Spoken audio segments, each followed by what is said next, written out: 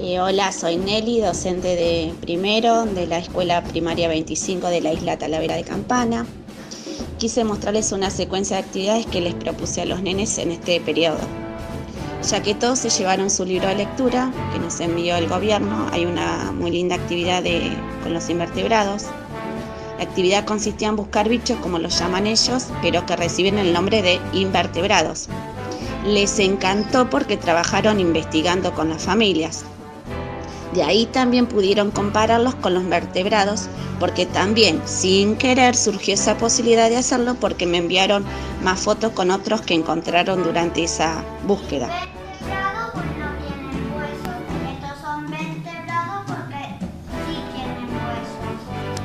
A ver, Enzo, ¿qué dibujaste acá en los invertebrados? ¿Qué dibujaste? mariposa. Sí.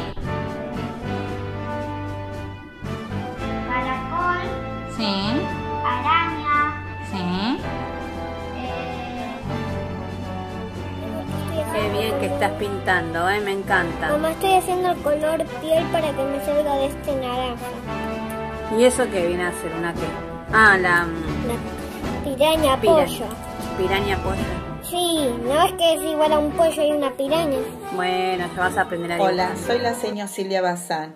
Doy clase en segundo año en la escuela número 25, Isla Talavera, Campana.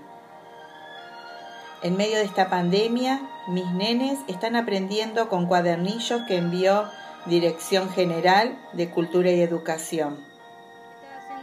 Además, están disfrutando de cocinar, ¿con qué hacer danza, Con agua, con detergente y aceite. Ya ve cómo hacer. Hacer educación física, plástica. A ver. Muy bien. escuchar Bravo. y leer cuentos.